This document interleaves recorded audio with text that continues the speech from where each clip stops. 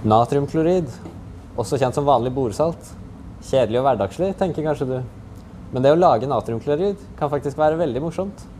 Riktignok ikke på den vanlige måten der man utvinner det fra havet, men som vi gjør det her på laben.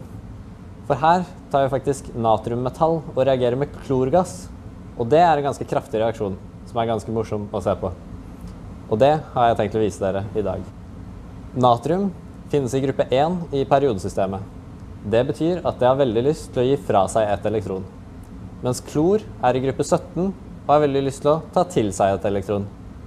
Det gjør at natrium og klor på mange måter er en perfekt match for hverandre. Og det er også litt av grunnen til at de kan reagere kraftig sammen og danne noe så stabilt som natriumklorid. Ja, så da tar vi ut en natriumklump herfra.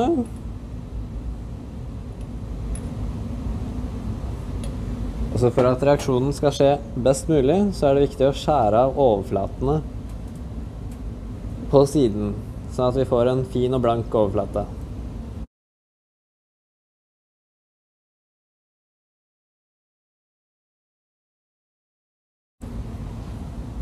Og da tar vi den natriumbiten her. Oi, hei sann.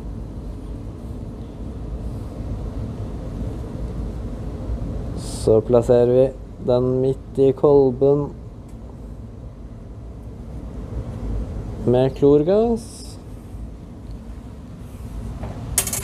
Og så skjer det jo ingenting ennå, så da må vi jo tilsette noe for å starte reaksjonen. Og da tilsetter vi litt vann.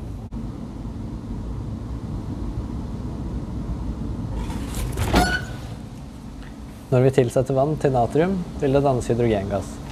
Vi får også mye varme ut av denne reaksjonen, som gjør at hydrogengassen antennes, som vi ser her. Dette skaper nok energi til å sette i gang reaksjonen mellom natrium og klor, som skaper denne intense, pulserende flammen. Hele tiden mens denne reaksjonen pågår, vil noen natriumatomer gi fra seg elektroner til klor, slik at de blir til ioner isteden. Og vi får dannet natriumklorid, der vi har ionebindinger mellom natrium og kloridionene. Det er kanskje litt vanskelig å se, men inni her har jeg fått dannet en hvit klump med salt.